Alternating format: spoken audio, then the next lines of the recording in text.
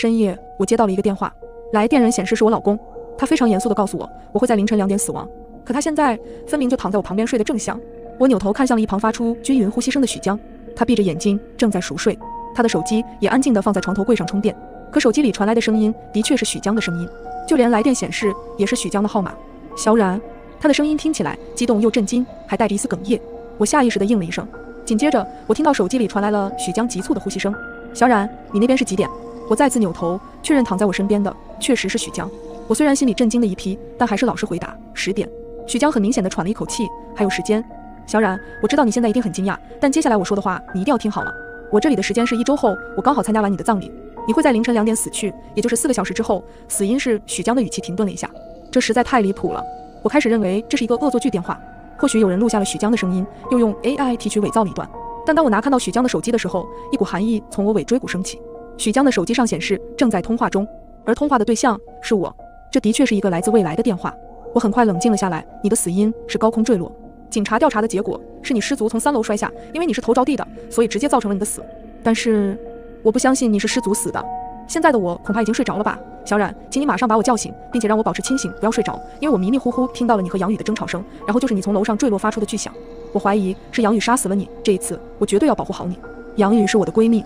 今天早晨，我们三人一起来到了这幢位于深山上的别墅。这幢别墅是许江父母出国前购置的。本来我们预计在傍晚下山，但不料突然遇到暴雨，山体发生滑坡，只能在别墅上过一夜。巨大的信息量让我一时之间难以接受。我还想询问许江，电话却突兀的挂断了。我看到手机上显示出了一行字：通话次数五，通话时间刚好是一分钟。难道这个数字代表的是我能和未来的许江通话的次数？可我却很难相信杨宇会杀了我，因为我和杨宇从大学认识到现在已经五年了，我们关系好的几乎可以穿同一条裤子。我还是决定先叫醒许江，但许江不知为何睡得非常的沉，不管我怎么拍打他，他就是睡得很死，这不太像是正常的睡眠。许江患有轻度的焦虑症，他非常的浅眠，只要一点动静，他就可以醒来。我突然想起晚上许江曾喝下了杨宇递来的一瓶矿泉水，难道这个水里被杨宇加了什么东西？我心里一沉。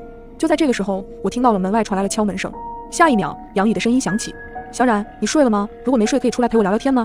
他的声音和往常的相比，有些沉闷，像是捂着嘴巴说话一样。此时，窗外闪过一道惊雷，豆大的雨点撞在玻璃上。我攥紧了手里的手机，屏住呼吸，不敢出声。但我突然意识到，房间的门没有锁。我深呼吸一口气，光着脚踩在了地上。虽然我已经以最小的动静来到了门前，但没想到杨宇的耳朵竟然如此敏锐。我听见声音了，小冉，你还没有睡对吗？我颤抖着咬住嘴唇。杨宇又说道：“发生什么事了？为什么不说话？”我强迫自己镇定下来，准备将门锁上的时候，却发现这个门根本就不能反锁。我很担心你，我可以进来吗？杨宇的声音带着忧虑。我的呼吸急促起来。我意识到，如果我再不出声的话，杨宇绝对会开门进来。我平稳了一下呼吸，说道：“小雨，我刚醒上了一个厕所，我今天有点累，我们明天再聊吧。”门外陷入了一阵良久的沉默。最后，我听到杨宇说了一个“好”，我松了一口气。但这时，我的手机再次响了，来电显示是杨宇的名字。我皱起眉头，还是接起了电话。小冉，是小冉吗？杨宇的声音显得惊喜又难以置信。是我。我不明白杨宇说这话是什么意思，但下一秒，手机那头传来了他激动的嚎啕大哭的声音。这些天，我像个疯子一样拨了无数次你的号码，别人都说我疯了，但我就是想再听一听你的声音。我心底升起一个难以置信的念头。很快，杨宇接下来的话验证了我的猜测。小冉，我现在说的话，你可能会不相信，但我必须要告诉你，再过四个小时你会死。我现在所在的时间是一周后，我刚参加完你的葬礼。你从别墅的三楼掉落，后脑着地死亡。警方判定你是失足掉落，可我根本不相信，因为早上我们上山前，我偷听到了许江在打电话。他给你买了一份巨额意外保险，一定是他预谋杀死你，小冉。那天晚上，我一直想要和你说这件事情，但你却并没有给我机会。或许这次通话是上帝给我们的机会，小冉，你马上离开房间去找我，我会保护你。杨宇急促地说道。此刻，通话戛然而止。深夜，我分别接到了闺蜜和老公的电话，他们都非常严肃地告诉我，对方会在凌晨两点害我坠楼身亡。可我现在不知道该相信谁。接上文，我转过头，却发现许江不知道什么时候醒了，他睁着眼睛，直勾勾地看着我。一瞬间，我心底升起一股毛骨悚然的感觉。许江，你醒了！我刚刚怎么叫你都叫不醒。我露出一个勉强的微笑。许江歪着脑袋看着我，我今天不知道怎么回事，脑袋沉得厉害。他看着我，欲言又止地说道：“小冉，我感觉我现在的状态不对劲，我怀疑是我晚上喝的那瓶水有问题。我回想起晚上杨宇给我们递水的时候，一瓶是常温的，一瓶是冰的。许江知道我不爱喝冰水的习惯，所以他肯定会选择那瓶冰的矿泉水。”难道杨宇利用了我们的习惯，让许江喝下了那瓶有问题的水？小冉，其实我一直想要告诉你，杨宇似乎有问题，但是你和他的关系太好了，我实在找不到合适的机会说。你来看一下这段视频。许江从手机里找出了一段视频，这段视频是我们三个月前订婚时候的录像视频。视频里，我和许江在众人的祝福下露出羞涩的微笑。此时，镜头扫过了杨宇的脸。他露出了一个极为奇怪的表情。杨宇像是在微笑，但他的眼睛却刻意的睁得极大，死死的看着我们。老实说，我被杨宇的这个样子给吓到了。我们认识这么久，她在我心目中的样子就是一个大大咧咧、心思单纯的女孩子。那天看完视频，我就觉得有一点不对劲，就去找了以前我们三人在一块的一些照片。看完许江手机的这些照片，我浑身鸡皮疙瘩都起来了。每一张照片上，杨宇的表情都相当的抽人，她皮笑肉不笑的盯着我，笑容夸张又刻意。之后我去调查了杨宇的一些过往，你还记得她曾经告诉过你，她高中曾经被室友霸凌吗？我点了点头。杨宇的确说过这件事情，她高中被室友集体霸凌，后来就转学了。为此，我曾经很心疼她。许江深呼吸一口气，他给我看了一张新闻截图。二零一三年三月一日，建设中学四百零五寝室发生意外失火，寝室内三人全部死亡，唯有一位学生因晚归未回宿舍幸存了下来。建设中学就是杨宇以前读的学校，我心脏砰砰直跳起来。这件事情杨宇从来就没有告诉过我。我联系上了杨宇的高中同学，他告诉我，当年那场火灾，警方怀疑是有人故意纵火，但是没有找到证据，是一件非常邪门的事情。而且杨宇从没有被霸凌过，相反，他和寝室里其中一个女孩的关系非常好。但是自从高二开始，他们的关系就不如之前。准确来说，是杨宇班上所有人都变得有点害怕他。为什么？我疑惑地问道。许江的鼻尖冒出了微微的汗珠。高一的时候，杨宇被绑架过。他被绑架之前性格是非常安静内向的，但是自从被绑架后，他的性格就截然大变，变得十分外向。杨宇同学说，他给人的感觉非常的奇怪，甚至连饮食习惯都和之前不一样，就像换了一个人一样。许江，我找到了当时杨宇被绑架时的新闻。我看到许江手机上当时被捕的绑架犯的照片，那是一个长相非常凶恶的女人。但令我最为恐惧的是，照片上的女人是笑着的。而且他的笑起来的神态和我之前看到的杨宇的笑非常的相似。许江看着我说出了一句让我胆战心惊的话：“小冉，你觉得当时回来的是真正的杨宇吗？”我被许江的话吓得汗毛耸起。我回想起这些年和杨宇相处的点点滴滴，杨宇性格像个男孩子，但是对我一直都很照顾。我还记得大学有一回，我食物中毒，上吐下泻，衣服裤子上全沾上了呕吐物，狼狈的要命。是杨宇彻夜照顾我，一点点给我擦去身上的呕吐物。当时我只有一个念头，要跟杨宇做一辈子的朋友。可我却突然发现，我根本不了解杨宇的过往。他从来就没有和我说过他高中发生的失火案和被绑架的事情。这时，我的手机又响了，我低头一看，是杨宇的电话，不准确来说是来自一周后的杨宇。我看了眼许江，我去上厕所。我迅速走到房间内的厕所，接起了电话。电话那头还是杨宇带着哭腔的声音。怎么之前电话这么快就断了？我还有好多话都没有说完，打了好久才打通。小冉，我要告诉你一件关于许江很重要的事情。你死后，我一直在请人调查许江，他其实还有一个双胞胎哥哥。许江的哥哥从小性格就十分怪异，十二岁了依旧尿床，喜欢虐动物，并且经常对同学进行暴力行为，这是典型的杀人犯前置。许江十四岁那年，他的哥哥将同学打致重伤，赔了不少钱。就在他哥要去少管所的前一晚，家里发生了一场大火，许江的哥哥在火灾里直接死亡。小冉，我一直在想，为什么许江要对我们隐瞒这件事情？你说当年在火灾里死去的那个人，会不会是真正的许江？我的心脏猛地一紧。双胞胎一般来都长得极为相似，如果当年活下来的不是许江，而是他的双胞胎哥哥呢？为了逃脱去少管所，许江的哥哥便以许江的身份活了下来。我的呼吸陡然急促起来。杨宇和许江说的话，到底谁是真的？就在这个时候，门外响起了敲门声。小冉，你没事吧？我听你似乎在里面和谁说话。许江的声音从门口传来。我连忙平稳呼吸，我没事。突然，电话里的杨宇压低声音，恐惧地说道：“小冉，你的死因变了，你的死因从高处坠落变成了心脏破裂，你是被刀捅死的。”我的心脏狂跳，我小心翼翼地弯下腰，趴在了地上。透过门缝，我看见了许江的脚，还有他手上握着的极其锋利的刀。这时，手机里的声音戛然而止。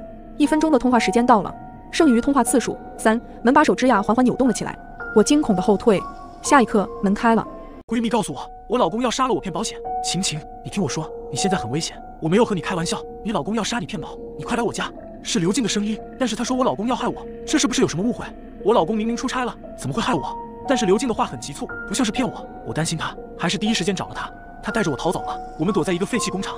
他跟我说了很多。我的头一阵剧痛。我隐约想到了那件事，那是和饮酒在一起的第二年，我被绑架了。绑匪没有提任何要求，只是把我囚禁了，让我听命于他。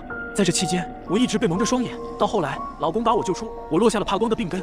那之后很长一段时间，我的双眼都是模糊的。我多次提出分手，老公都拒绝了。他说他会娶我，保护我一辈子。这段记忆太久远了，模糊了许多细节。我的头更疼了。晴晴，你醒醒！是刘静在呼唤我。原来这一切都是梦。刘静，我的头好疼，你可不可以去帮我买点药？我故意把它支了出去，冷静地拿起手机，里面都是老公的未接来电。我回拨了电话，老公好像特别着急。小晴，你去哪里了？如果你和刘静在一起，一定要跑出来，小心刘静。突然，我听到了门锁的声音，刘静回来了。我挂断了电话，若无其事地躺在床上。我刚刚听到你在说话，是不是饮酒找你了？刘静表现得很慌张，说着他就要抢我的手机。没有，你听错了，刘静，我的眼睛好像看得更不清楚了，我好害怕。刘静见状，连忙安慰我。我利用这个机会，把手机一脚踢到了床下。对于我老公要杀我骗保，我一直持有怀疑态度。我老公是集团老板，他这么做对他有什么好处？而且刘静为什么会知道这件事？正当我思考这一切的时候，门外传来了一阵急促的敲门声。刘静蹑手蹑脚地走到门口，警觉地问了句：“谁？”小琴，是你吗？我是老公，快开门！门外传来了饮酒的声音。老公在门口用力敲门。小琴，你相信我，刘静要杀你，不信你听这个录音。门外传来了一阵滋啦滋啦的声音。我爱你，我看到你跟他在一起，我就极度的发狂。他都不干净了，你为什么还要跟他在一起？这个声音我再熟悉不过了，这是刘静的声音。小晴，你听到了吧？从始至终都是他自导自演的，他要杀了你。门外的饮酒有些歇斯底里。录音吗？我也有。随即我看到刘静从包里拿出了一支录音笔。等我杀了他，拿了他的保险金，公司就能东山再起，足足一千万。刘静一边擦着眼泪，一边对我说：“晴晴，我早就知道他在外面背着你搞外遇，所以我假意接近他，想要给你争取更多的证据。但是我没想到他竟然会如此丧心病狂。”呜，我止不住的全身发抖，这一切都太诡异了。一边是闺蜜，一边是老公，我究竟该相信谁？不要出声！有人进了宿舍。看到小豆发在宿舍群里这条消息时，我正在宿舍厕所里边蹲坑边刷手机。那个人浑身是血，你们赶紧找个角落躲一下，我先躲到隔壁宿舍报警。我屏住呼吸，我知道他不是在恶作剧。我已经听到了外面哒哒哒的脚步声，似乎是高跟鞋。厕所门上没窗，我看不到外面的情况，也不敢动弹弄出声响，只能僵硬地坐在那里，死死地攥着手机。屏幕上小豆的消息此刻成了救命稻草，给了我莫大的安慰。狭小逼仄的环境里，我几乎能听见自己的心跳。还好，还好我在厕所里，其他人也都不在宿舍。小妮和小婉今晚有节选修课考试，宿舍里只有我和小豆。我在厕所蹲坑，而小豆刚刚去走廊外接水了。外面响起了砰的关门声，随即是哒哒哒的声音远去。那个人没到。厕所来看，我长长的呼出了一口气。我站起来，提上裤子，在宿舍群里回了一句“好像走了”。群里有个奇怪头像的人发了一条消息：“你在宿舍里？”与此同时，许久没有动静的小豆又发了一条消息：“隔壁宿舍没人，好几个宿舍都空了。”两条消息几乎同时发出来，我愣了一下。赫然发现四个人的宿舍群不知道什么时候变成了五个。门外走廊重新响起一阵急促的哒哒哒的声音，像是有人穿着在走廊上飞快的跑。我迅速的反应过来，用最快速度冲出厕所，扑向宿舍门口，用身体死死的抵住门，反锁。几乎同一时间，门外有什么东西狠狠的撞在了宿舍门上，随即就是一下接一下的撞门声。穿着高跟鞋，应该是个女人。女人的力气真的这么大的吗？出什么事了？宿舍进来人了？你们两个没事吧？手机屏幕亮起，宿舍群里有消息弹出，是小婉，显然是刚刚看到消息。我们两个刚进宿舍楼，这个人是谁拉进来的？小婉也注意到了群里刚刚出现的第五个人。我在输入框里打，别回宿舍，先去社管或者其他宿舍待着。宿舍门口有个变态，刚想点发送，却又想到那个变态也在群里，于是点开了和小婉的私聊对话框，消息显示发送失败。我才发现竟然没有信号，可是宿舍群里却可以正常聊天。小豆的消息先我一步的在宿舍群里发了出来，别回宿舍，先找个地方躲着，只有这个宿舍群还能发消息。等等，不对。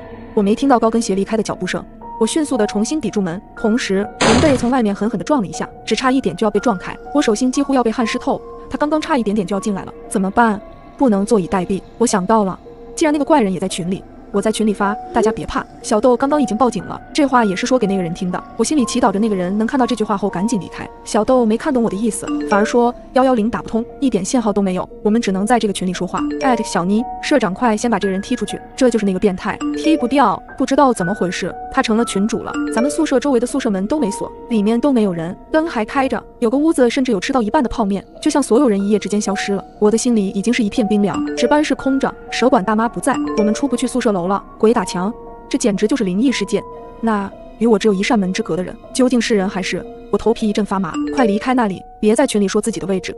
对我就是这么暴露的。他留下宿舍群这个唯一的联系方式，是为了方便找到我们的位置。我们宿舍在四楼，小婉他们在一楼的话，他跑下去怎么也要一分半到两分钟的时间。更何况我没听到他离开的脚步声。他虽然不撞门了，但仍然守在我门口，不舍得离开。他找到其他人还需要时间，但我就在这里逃不掉。他撞开门只是时间问题。我感觉自己像是锅里的青蛙，面对着迟早烧开的水而无可奈何。可是小豆刚刚也说他在隔壁宿舍呀，他为什么不去找小豆？这时候我冷不丁的看到阳台上一个身影飞快的闪了过去，我后背瞬间被汗湿透。我后知后觉的意识到。一件很恐怖的事，不要出声！有人进了宿舍。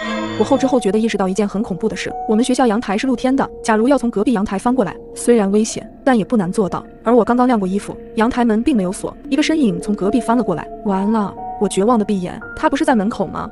别怕，是我，是小妮，他不是和小婉两个人在楼下吗？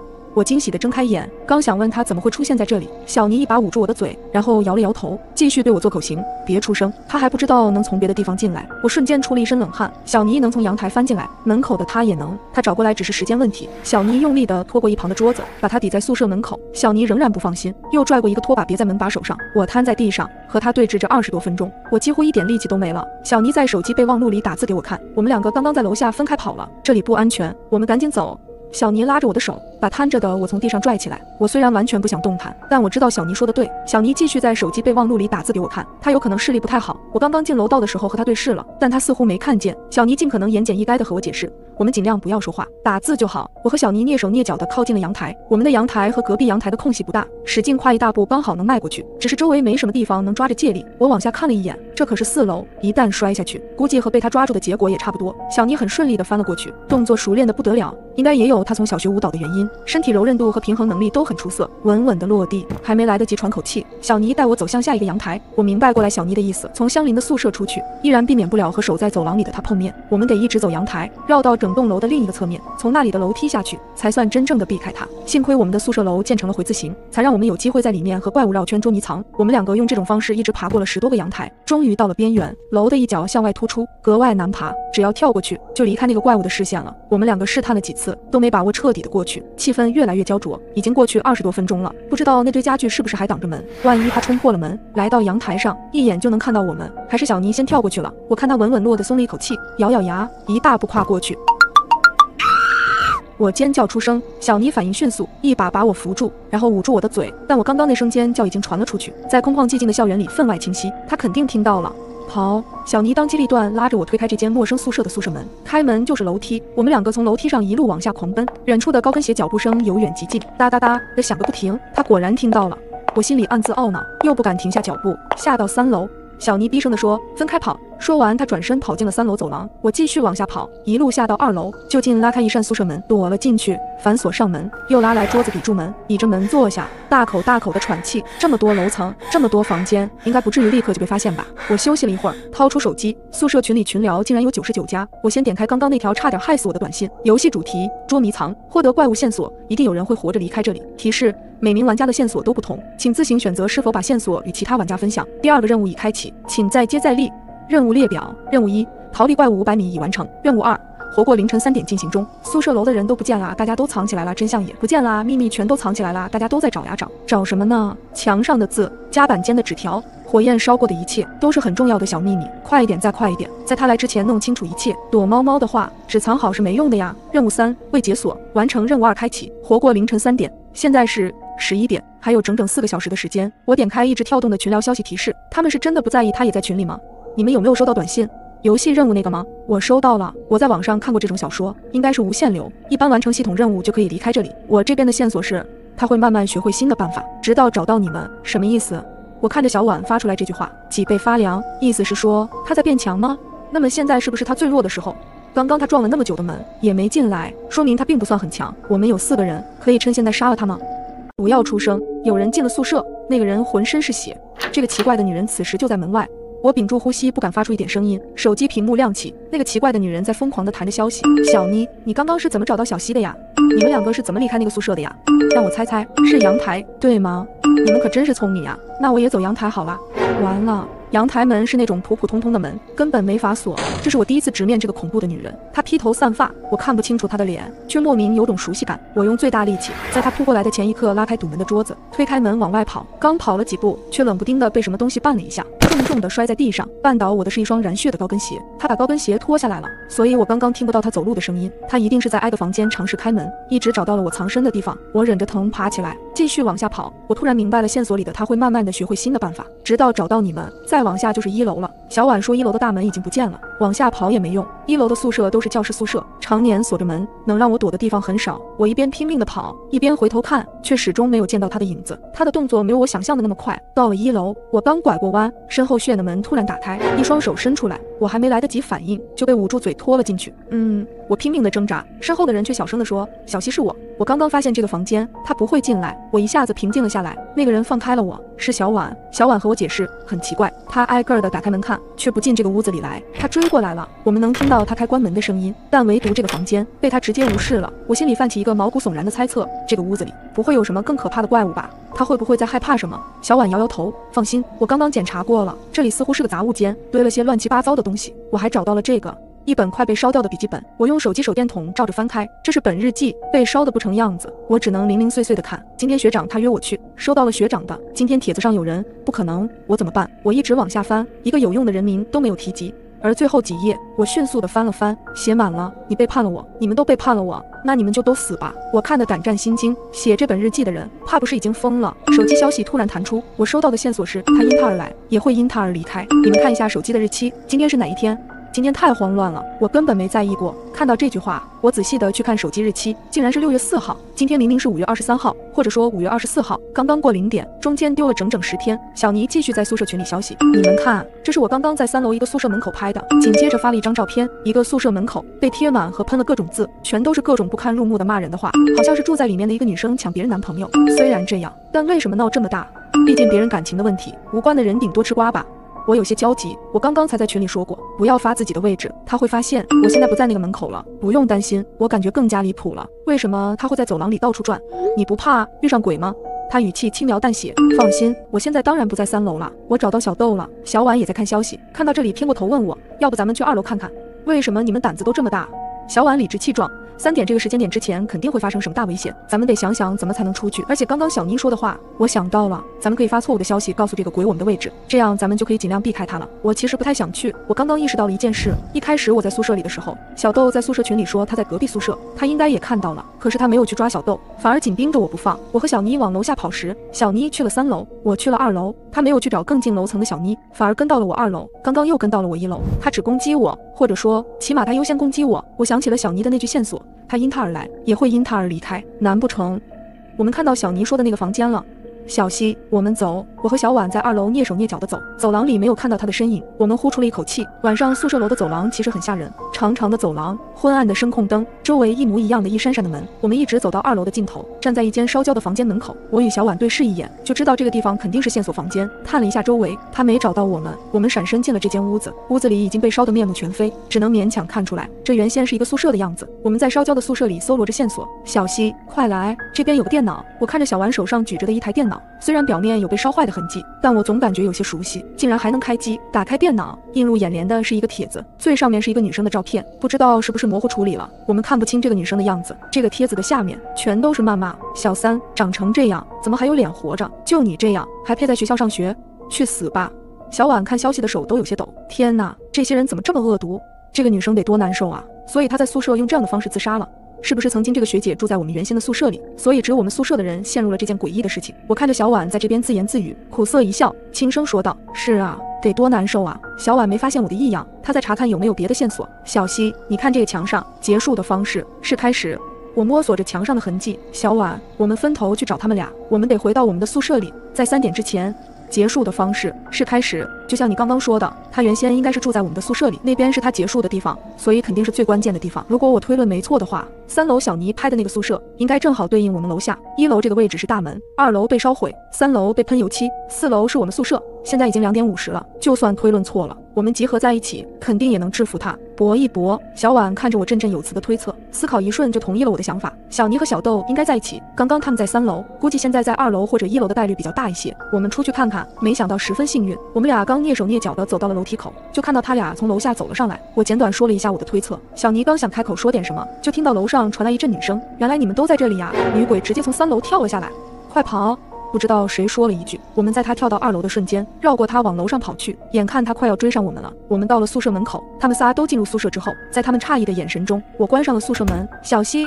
他们以为我无私奉献了自己，挡住女鬼。可是我低下头看了眼时间，凌晨三点整，刺啦，火焰燃烧的声音，听见宿舍里面发出的惨叫声。我笑了。是的，结束的方式是开始，不是在我们宿舍有线索，而是宿舍三点整会着火。在刚刚看到那个帖子的时候，我就想起了一切。我们的舍友关系并不像我们表面上那么愉快。这丢失的十天是我最痛苦的回忆。宿舍门口不堪入目的谩骂，帖子里刺耳的人身攻击，都不是针对什么所谓的学姐，而是针对我的。我的男友是学校有名的校草，我们悄悄的谈恋爱。他美名其曰是为了保护我。那段时间我很快乐，只与宿舍里的姐妹们分享了这个喜悦。但是三个月后，他公开了与校花的恋情。那是一个非常好看的女生，特别阳光且很出名，站在一起看起来如此般配，但却刺伤我的眼。我震惊于他是不是劈腿，打电话给他想质问他，可他却再也不接我的电话。我趁着没人的时候去拦过他，他却说我跟你不熟，不要再来骚扰我。我失魂落魄的回了宿舍，躺在床上翻着我们俩的聊天记录，为了证明这段恋情的真实存在。但直到现在我才发现，我们的聊天记录那么像普通朋友，没有红包转账。也没有说过爱你，他所有的情话都是在线下面对面说的。我本想着颓废一夜就够了，第二天我还是可以振作起来，努力攻克我的学业，可却没想到我步入了更深的深渊。第二天一早，小尼看着我醒了欲言又止。小西，你去看看帖子。打开电脑，我发现我和校草谈恋爱的事情，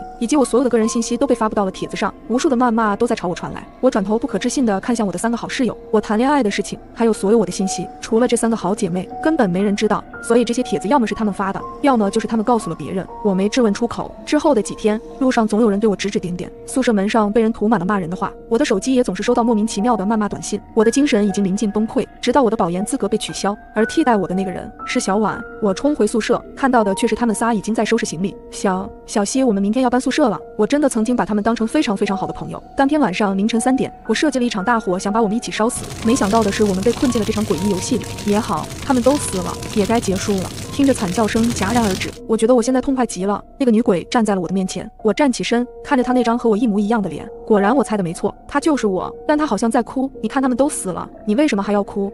他用手指了指我的脸，我摸了一把脸，脸上全是泪水。为什么我也要哭呢？他没有说话，而是递给我一张照片，那是一张那个校花初中时代的照片。虽然才初中，已经能看出来她长大了，一定会很漂亮。她穿着一身我熟悉的校服，她和我是初中同学。我所有的事，她也知道。我犯了一个不可饶恕的错误。我再也弥补不了了，我只能永远的忏悔。其实仔细的回想这一路，最开始是小豆给我发消息提醒我，后来是小尼带我从阳台逃走，又是小婉拉我进安全屋，他们其实都在救我。叮咚，手机短信的提示音，恭喜玩家完成任务，存活到凌晨三点，开启任务三，四人合作离开宿舍楼。凌晨三点之后，女鬼小西将不会再阻拦你们。由于未凑齐四名玩家，任务失败，你将消除记忆，游戏重启。你以后洗澡注意点，把门窗都关好。我刚从浴室出来，正用毛巾擦头发，就收到了同事发过来的消息，以及一张照片。什么玩意儿？没头没尾的，什么意思？对方很快就回复了，只有一句话：你们那层楼有变态。我更疑惑了，这才点开那张图片仔细看了一遍，放大了两倍之后，才分辨出图片里那是个人扒在我宿舍的浴室窗户上，果真有变态。这谁拍的？什么时候？两条消息发出去，石沉大海。我没了耐心，索性一个电话拨过去。同事很快接起来，但却压着嗓子说话：“喂，我宿舍有人，没看见你的消息。我开门见山，你那照片哪来的？那个呀，别人发给我的。就刚才，我认出是你那屋，想着提醒你一声，你没事吧？能有什么事？老子一个男的也是。”同事沉默了一会，才接着说：“不过我是真没想到，这年头连男的都不安全了，你要小心啊。”电话挂断，我又把那张照片看了好几遍，虽然画质渣，但依旧能看出是一个男人，就站在阳台边缘，探头往浴室窗户里看，可不就是在偷窥？南方到了晚上，天气依旧闷热，所以我洗完澡只穿了条短裤，但现在却觉得一阵恶寒，这都什么事？哪个狗日的敢扒人窗户？别叫老子抓住！我把图片放大，可拍的实在模糊，又是个背影，根本分辨不出画面里的人是谁。除了一肚子火气之外，什么也没发现。我随手找了件短袖套上，完事还是觉得不舒服，又翻出一条长裤换了，烦躁的往床上一躺，脑子里还是绕不开这件事，只能打开手机看球赛。本想转移注意力，却忽然想起一件事：我半个月前才入职，当时因为宿舍分配出问题，还住了三天酒店，是物业管理那头出的错，把二零六和六零二的钥匙弄混了。原本该住在二楼的女同事错拿了我的钥匙，那姑娘比我早到一周。叫王希，她拿了钥匙之后问都没问，发现二楼二零六房门打不开，就直接循着钥匙上的编号，提着行李上了六楼。还是等我到公司入职去找物业，这才知道闹了乌龙。可公司那边的登记不好更改，水电费结算都跟工资卡绑着，重新修改太麻烦，最好我俩之间调换。我看他一个人不方便，就主动帮他搬家，从六楼换到二楼，一来二去也熟了起来。那么问题来了，有没有可能我俩换了房间，可那个偷窥的人却不知道？他跟往常一样听到水声过来扒浴室窗户，却没想到里面换了人。毕竟他那熟络的姿势，恐怕也不是第一次。我越想越觉得有可能，腾地一下从床上坐了起来，真是个人渣！没想到公司宿舍还住着这种人。我拿起手机，本打算把这件事告诉王希，可转念想想又怕吓到他，不知道该怎么说。正纠结着，电话响了，我看到来电提示，却是一愣，是王希打来的。他难道知道了什么？我犹豫着接起电话，喂。对面的人立刻出声：“李平，我也不想麻烦你，但你能不能过来一趟？刚刚有人在敲我的门，特别大声，我不敢开门。他声音发抖，带了哭腔。我皱眉，立刻联想了到那个动作猥琐的偷窥男。你别开门，就在房间里等着，我这就下楼。也来不及换衣服，踩着拖鞋就出了门，用最快的速度往二楼跑。声控灯亮了一路，可拐进二楼楼道之后，却发现根本没人。二零六门口也空空如也，难道是走了？我怕敲门声吓到王希，索性打电话叫他开门。喂，他压着嗓子跟我说话，小心翼翼。我放缓语气，安抚道。我在你门外了，没有人，你别担心，估计是谁走错了。可我话还没说完，低头却发现地上有东西，像是一张纸，被顺着门缝塞进屋里头，只有边角露在外面。我预感不好，没继续说下去。你先开门。好，我过来了。电话挂断之后，二零六的门从里面被推开，王希穿着睡衣，头发胡乱披着，眼眶发红，模样有些狼狈，看样他是睡着之后被吵醒的，估计吓得不轻。他没敢走出门，畏缩的往楼道两边看，发现确实没人之后，这才松了口气。哑着嗓子：“谢谢啊，麻烦你了。”我摇头，表示不客气，蹲下身把地上的东西捡了起来，是一张被折起来的白纸。他看到之后也一愣：“这是什么？不是你的？”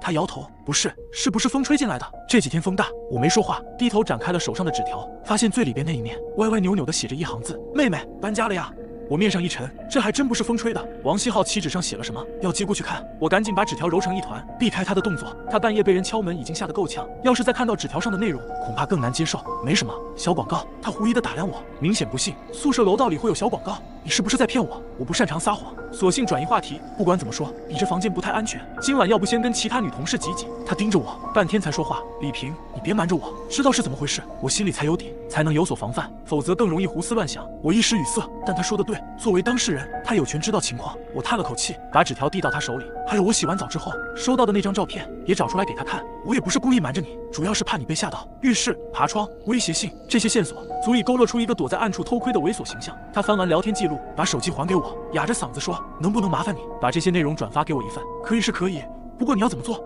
当然是抓到他。这个这个人敢这样，肯定不是第一次做这种事，不能就这么。”就这么放着，因为颤抖，他说话都磕磕巴巴的，但我听懂了。六楼不算高层，但也在半空，一旦摔下去，就算不死也会残废。在没有任何保护措施的情况下，这人就敢冒着这样的风险扒窗偷窥，说明他的猥琐变态已经到了不要命的程度。王希死死攥着那张纸条，苍白的脸上没有一点血色。我叹了口气，劝说你先别怕，肯定能抓到那个人，别太担心。可这不是废话吗？发生这种事，她一个女孩怎么能不怕？我收了声，盯着照片里那个猥琐的背影，攒了满肚子脏话。电话忽然响了。